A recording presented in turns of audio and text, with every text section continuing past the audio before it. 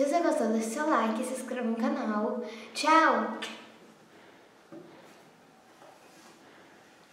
Tchau pessoal, até o próximo vídeo.